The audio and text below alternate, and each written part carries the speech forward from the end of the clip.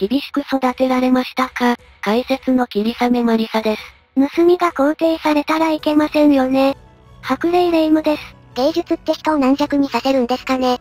魂魄用夢です。今回はスパルタ教育を題材にしたいと思うぜ。今でも厳しい教育のことをスパルタ教育というよね。スパルタ教育の語源は、ギリシアの有力ポリスである、スパルタの過酷すぎる生活から来ているんですよね。古代ギリシアのもう一つの有力ポリスである、アテネが文化、芸術、哲学を重んじたのに対し、スパルタでは徹底した強さが求められたわけだ。アテネとの文化の違いは大きいと感じるわ。現代のスパルタ教育といえば、次のような感じだと思う。宿題が終わるまでご飯を食べることができない。勉強は1日丸時間。平日は学校が終わったら塾に行き、友達と遊んではならない。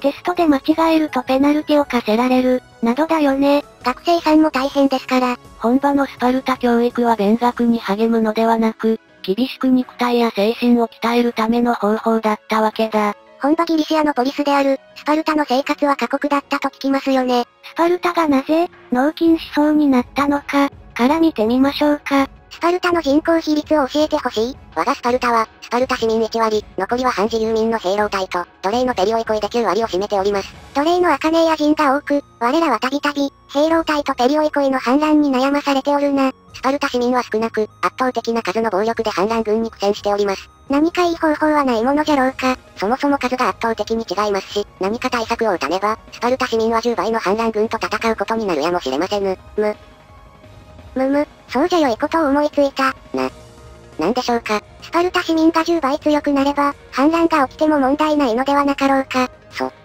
それは、そうですが、そのようなことが可能なのでしょうか。子供が生まれた時から、徹底して戦いに勝つことだけを考えて、鍛え抜けば、最強の戦士が誕生し、スパルタは安泰じゃ。な、なるほど。わしはスパルタを徹底した軍事国家に改造してやるぞ。はは。ユクルゴスの改革により、スパルタは軍事国家の道を歩むことになったとも言われていますよね。プルタルコスの英雄伝によれば、ユクルゴスは紀元前9世紀の人物とされているぜ。でも、ユクルゴスが実在したのかは、わからない話もあったような。スパルタ教育の元になったユクルゴスのせいは、ユクルゴス一人に帰結されるわけではなく、徐々に制度が固まり、紀元前6世紀頃に形成された話もある。紀元前の話ですから、わからない部分も多いんですよね。ユクルゴス星を見ると、スパルタは支配階級以外の武器を奪ったり、強力な武器を開発することよりも、肉体を重視したようにも見えるけど、筋肉で物事を解決しようって考えたんですかね。しかし、スパルタ市民は厳しい鍛錬を積むことで、最強の重装歩兵を獲得したとする見方もある。スパルタ教育の賜物になるのかしら。スパルタ教育の元になった、スパルタの生活を見ると、赤ちゃんが生まれた時点で、選別させられた話がある。大人たちが、この赤ちゃんは健康に育つのか、病気にならないか、軍人になっても足を引っ張らないか、などをチェックしたんだよね。先行から落ちてしまった赤ちゃんは、大ゲとスザンに捨てられたり、アポタテイと呼ばれる穴に入れられ餓死するまで放置とか、谷から突き落とされる場合もあったと聞いてますが、スパルタでは生まれた時から戦士になるのが宿命づけられていたからね。スパルタでは子供が母親と暮らせるのは7歳までと決められており、7歳になると子供は軍隊に入ることになる。軍隊では男だけの集団生活を送り、集団生活が結束力を高めたとする話もあるんですよね。スパルタのファランクスは一体が一匹の生き物のようだ。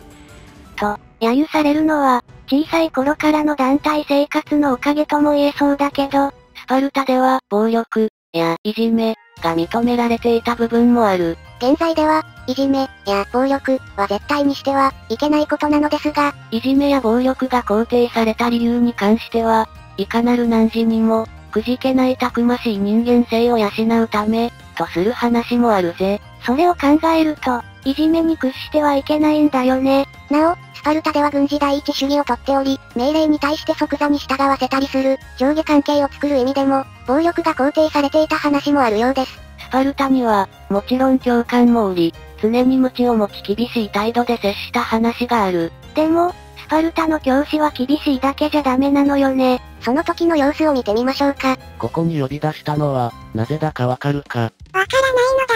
お前のやり方は、理不尽すぎるのじゃ。お前をこれから処罰することにする。わしの命令は絶対じゃ。わかったのだ。これを見るとスパルタの教官も大変ですよね。スパルタでは12歳になると成人の儀式が行われた話がある。スパルタの場合は、成人の儀式といっても、探検一つだけを渡されて、街に放り出されるんだよね。その時の様子を見てみましょうか。大ちゃん、探検一つだけ渡されて、私たちも街を追放されちゃったね。服も没収されるのが辛いよ。兵糧隊から服や食料を奪って、生活をしないといけないんだよね。そうだね。過酷だけど、頑張らなくちゃ。あそこにいるのは、兵糧隊では、早速、襲撃しよう。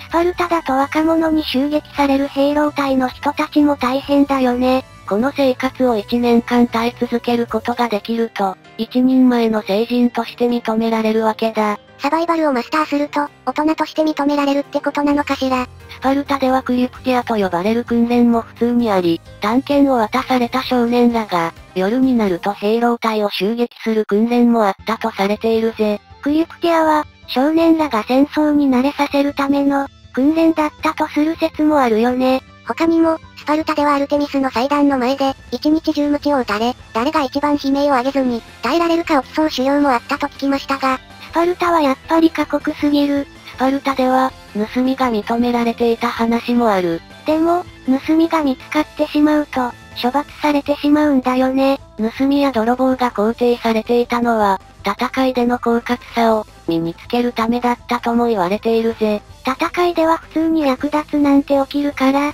盗みも認められていたってことなのかしら。盗みなどは大人をどうすれば、出し抜くことができるのか、とする要素もあり、戦いでの作詞としての面を育てる意味もあったとされているぜ。すべては戦いのためですよね。盗みが見つかって処罰される原因は、盗んだことではなく、見つかるような下手な盗みを行った罰、としての、意味合いが強かったとされているぜ。当たり前ですが、今の日本で盗み、万引き、泥棒、などを行えば、犯罪なので絶対に行わないようにしてください。さらに、スパルタでは次のようなことも行われていた話もある。最強の男は誰だ？え、え、と。大妖精のことは、どう思うか？あたいと大ちゃんは、う、ぬ、ぬぬ。なぜ、答えられぬ？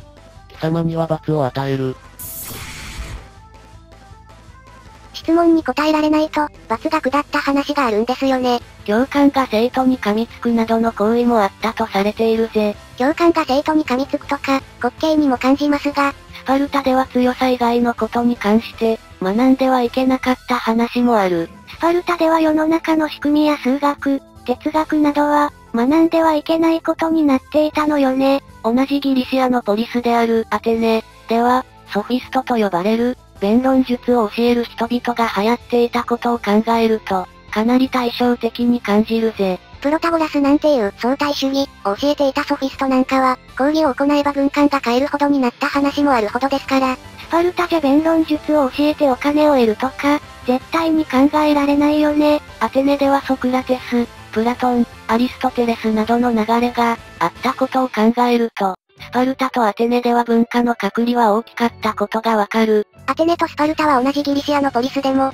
気質が全く違うんですよね。海軍のアテネと陸軍のスパルタという違いもあるようだけど、なお、スパルタでも戦いの時に、文字の読み書きなどは必要な場合があり、戦いで必要な学問は、最低限だけ学べた話もある。やっぱり、すべては戦いのためですよね。後にペロポネス戦争でアテネとスパルタは戦うことになるんだけど、スパルタが勝利しているぜ。軍事訓練の差が戦いの結果に現れたのかしら。スパルタに比べると、アテネは同盟ポリスからの搾取がひどかったとか、アルキビアですがスパルタに寝返ったのが、スパルタ勝利の原因ともされているぜ。アルキビアデスはアテネの情報をスパルタに流したんですよね。スパルタくらいの軍事訓練を行っても、情報戦で勝利できなくては、戦いに勝利できなかったとする見方もあるよね。情報戦は大事ですから。余談なんだけど、アルキビアデスは容姿が美しく、スパルタ王妃と密通した話もある。アルキビアデスは、ソクラテスの弟子とも言われるけど、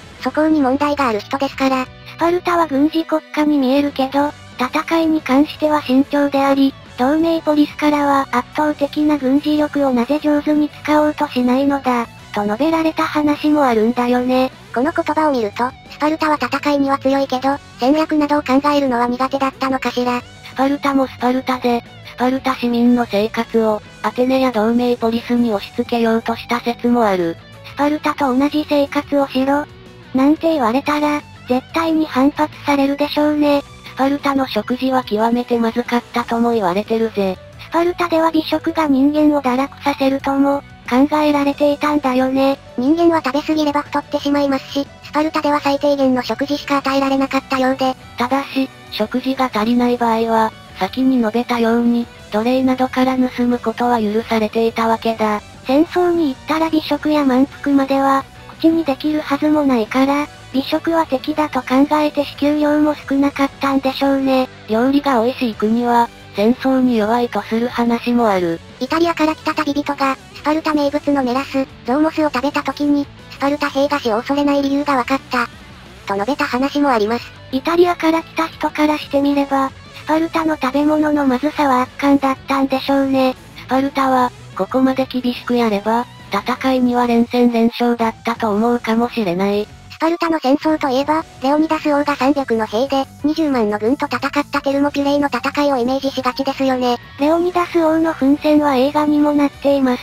実際のスパルタは戦いに敗れたこともあり、連戦連勝とはいかなかったようだ。先にも述べたように、海軍力ではアテネに劣っていたようだし、ペロポネス戦争で勝てたのは、アルキビアデスの裏切りが大きいと言われているからね。スパルタの衰退の原因となった、レウクトラの戦いでは、テーベの名将エパメイノンダスによる射戦陣の前に、スパルタは敗れているぜ。それを考えると、個人が強いだけじゃなく、戦術とか戦略も大事なんでしょうね。レウクトラの戦いでは、同性愛者で構成された、テーベの新生体が極めて強かった話もあるんだけど、アテネと協力して戦ったペルシア戦争でも、勝利の立役者は、スパルタではなくペルシア海軍を、サラミスの戦いで破ったアテネの軍だとも言える。サラミスの戦いはアテネ海軍を率いた、テミストクレスの活躍もありましたからね。ただし、スパルタ軍は同じ戦術で正面からぶつかった場合は、当時では世界最強だったのではないかと言われているぜ。そこが、パルタの強みなんでしょうね。なお、スパルタは他国から攻められた記録が圧倒的に少なく、それらもスパルタの強さを表しているとする説もある。他にも、スパルタは兵士の強さに圧倒的な自信があり、城壁がなかったなんて話もあったような。どこまでが本当なのかはわからないんだけど、スパルタといえば、男性にばかり厳しかったと、想像する人もいるかもしれない。でも、実際には女性にも厳しかったんですよね。スパルタでは女性の役割が丈夫な子を産むことであり、健康な子供はたくましい女性の肉体から、生まれると信じられていたわけだ。女性であっても、スパルタでは、裸でレスリングのようなことをしていた話もありますから、スパルタ市民は女性も含めて、すべての市民に強さが求められているぜ。本当に最強の軍事国家ですよね。スパルタのライバルである、アテネでは女性のことを男性は次のように見ていた話が残っている。わしの肉体の喜びは娼婦、自分の世話は妾、子孫を生み家を守ってくれるのが妻、これが女性の役割である。アテネの男性は、ちょっとのんびりしているというか、女性に対してひどいと感じる部分もありそうですね。アテネでは女性の社会的な立場が弱く、女は臆病で不正をする男の生まれ変わり、と考えられた話もある。プラトンの言葉だよね。これを見るとプラトンは女性を見下しているように思うかもしれない。しかし、プラトンは自分の学校に女性を招き入れたり、女性の雇用に関しても平等にするように説いているので、かなりマシな方だと言える。あの言葉でマシだったとは、それに対して、スパルタの女性には、次のような話もあります。スパルタの女性が奴隷商人に売られた時のお話です。お前はスパルタの女だと聞いておるが、どんな知識があるのじゃ？自由な女としてのあり方なら知っています。お前は、そんなことを言ってられる立場か？意にそぐわない命令をされたら、自害するだけでございます。む、むむ。スパルタ教育は女性までも、誇り高き人間に変えたんですかね。他にも、スパルタの女性は戦いで逃げた息子に対し、次のような手紙を送った話もあります。我が息子が戦いで逃亡したとの話を聞いておる。手紙を送ることにしよう。お前の悪い噂が広がっております。今すぐに戦いで恥をすぐか、生きるのをやめるか、決断をしなさい。これは劣女ですね。他にも、戦場から逃げた子を自らの手で殺害した女性は、息子の墓に次のような言葉を残した話もある。今すぐにハデスの元に行け。スパルタにふさわしくないお前を産んだ覚えはない。今じゃ考えられないよね。さらに、次の話もある。戦いから帰ってきたようだけど、戦いの方はどうだったんだい？残念ながら戦いに敗れて全滅しました。ならば、スパルタ人は皆が亡くなったのか、その通りです。ならば、お前は悪い噂を持ってきた敵の使者ということだね。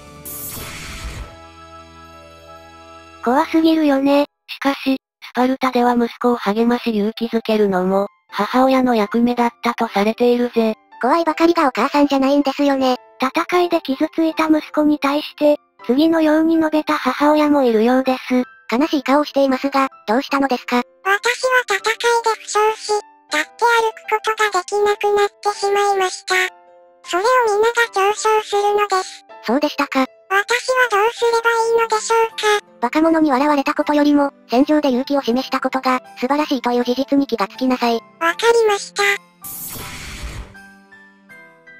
スパルタ女性は厳しいだけじゃなかったんですよね。肝っ玉お母さんだよね。出産で亡くなった女性に対しては、名誉の死だと称賛された話もある。スパルタらしいと感じるわ。スパルタの結婚なんだけど、15歳になった女性に3人の男性が嫁いだともされている。3人兄弟に1人の女性が嫁いだとも聞くよね。スパルタでは一切タフってことになるんですかね。別の話としては、男性は20歳になると軍人デビューを行い、この頃から結婚する者がちらほらと出始めた話もある。軍人デビューすると髪の毛も伸ばすことが許されるし、一人前になったって感じなのかしら。ただし、いつになっても結婚できない男性もいたとされるぜ。結婚できない男性は、皆から馬鹿にされたんですよね。他にも、スパルタでは通い妻が普通であり、弊社から抜け出して、女性と夜の営みをしたとする話もある。男女はたまに会う方が関係が燃え上がり、丈夫な子供を産むと信じられていたようですから、スパルタの考えとして、老衰は恥とする考えがあったとされている。戦いで死んでこそ、男ってことなのかしら？年を取って亡くなった者には、墓すらも建ててもらえなかった話も聞いたことがあるような。ちなみに、スパルタの軍隊には定年制があり、60歳だったともされているぜ。60歳まで戦いに身を置かなければならないって、かなり過酷に感じるよね。スパルタの政治の最高機関は長老会であり、スパルタの二人の王を含めた人物も参加し、60歳で定年した人物でないと入れなかった話もある。成人には民会もあったし、60歳を超えた全ての人が、長老会に入れたわけではないんですけど、それを考えると、年寄りの全てが役立たずで不名誉なもの、とされたわけではないんでしょうね。長老会のメンバーは終身制だったとも伝わっているぜ。それを聞くと、戦士が老害になり果ててしまった例もあるように思うのですが、でも、スパルタ教育って想像を絶する過酷な生活だよね。日本でよく言うスパルタ教育などは、当時の人から見ればまだまだ甘い、とされる部類に入るのかもしれない。当時のスパルタ市民の生活を我々がしようと思っても不可能ですが、ちなみに、スパルタでは育ての親は母親ではなく国家、という思想があったともされています。7歳から母親と離れて暮らし、国家の管理で集団生活を送っていれば、必然とそうなりますよね。それじゃ、今回は、これくらいにしておきたいと思います。この動画が面白いと思ったら、チャンネル登録と、概要欄から Twitter の登録をお願いします。それを励みとし動画作成を頑張る所存です。最後までご視聴ありがとうございました。次回もよろしくです。